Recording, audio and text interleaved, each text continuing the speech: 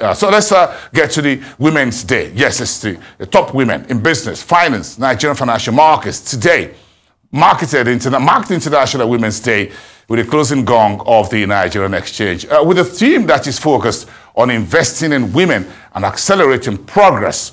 The women professionals called for increased female representation in corporate organizations, equitable inclusion in the workplace, and more participation in the society, in line with the Sustainable Development Goals number five of the United Nations. Let's listen. year marked my 10th year in this organization and my growth within this organization and within the capital market and indeed the growth of women within this organization and within the capital market, some of whom are on this podium with me, is a testament to the fact that this organization and the Nigerian capital markets, we live what we preach. Gender equality for us is not just a buzzword, it's not just the flavor of the season, or it's not just about being politically correct, but it is an ethos we live by to ensure exponential growth within this market, within our institutions, and within the economy of Nigeria. Over the past three years, NGX has forged a very strong partnership with the International Finance Corporation through the Nigeria2Equal program. Through this collaboration, we have been able to open more opportunities for women in leadership, employment, and entrepreneurship across various sectors of the Nigerian private sector. I'm also pleased to announce that NGX is currently working with United Nations Women to issue a gender bond in Nigeria. And this initiative, thank you very much. Through this initiative, we hope to be able to mobilize capital towards projects that benefit women and advance gender equality across various sectors of our economy. I recall I spoke at um, International Women's Day event here, I think it was in 2015. I was a member of council at the time, and the topic then was building a successful career as a woman. I think it's great to see that since then the discourse has progressed from focusing solely on what women need to do to succeed. Now we're talking about what companies need to do in order to inspire inclusion and to provide better support for women at work. Because the truth is, for any organization to succeed in creating a genuinely equitable workplace for all, we need to consider both angles. What do women need to do, but also what do companies need to do to better support women?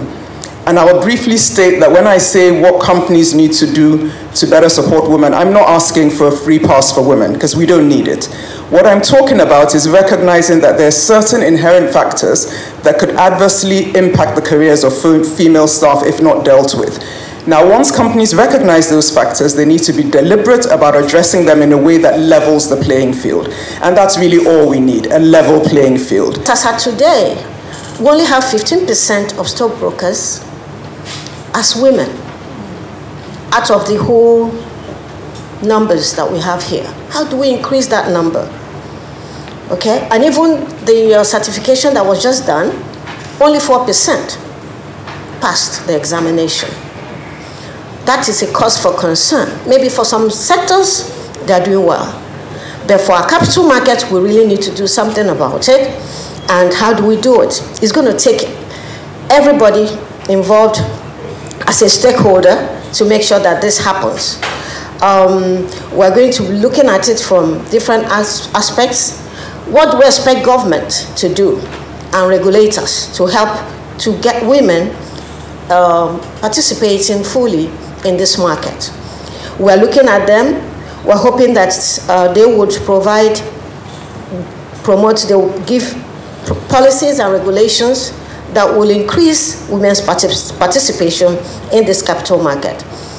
Setting targets for female representation in stockbroking firms, in providing incentives for companies to hire and retain female brokers. What we do in empowering women is that we use the arts to change the narrative about us. Um, you typically know who you are through your stories. Our storytelling for a long time has been done by foreigners for us, thereby skewing the image of Nigerians, Nigerian women, and African women. For a long time, we all believed that we don't have heroes, but the reality is that we have many heroines that have gone ahead of us. From the great Funmilayo Ransome Kuti that we just shot, women who have blazed the trail, gone ahead of us to demand change where people thought it was impossible. People who looked at colonial government and traditional government and told them You will not continue to use the sweat of these women as cheap labor, taxing them unnecessarily, and fought them to a standstill until it was changed. Those are the kind of women that we celebrate and the narrative that we're putting out for African women. Today, I'm reminded of the women um, around me, women who have inspired and have gone ahead to do extraordinary things, building communities, global villages, and doing a lot um, within their space. But we haven't seen enough of that.